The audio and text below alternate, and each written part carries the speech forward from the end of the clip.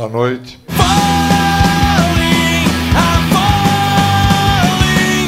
Durante todo esse tempo que eu estou na testa do Departamento de Futebol Profissional, eu em nenhum momento vim ah, junto a nenhum representante de imprensa para comentar a arbitragem. Vocês viram como é que foi tudo organizado?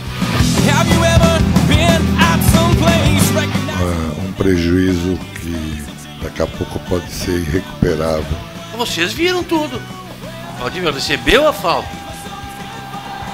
Aí, quando ainda era para ser o atleta ser expulso, não foi expulso.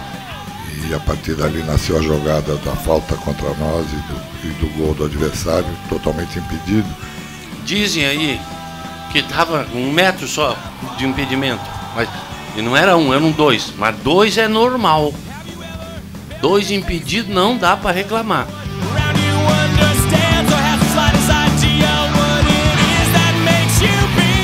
quero só deixar claro que com muita preocupação que o clube está vendo essa sequência de erros. Não quero que isso seja visto em nenhum momento como justificativa de maus resultados. E pronto.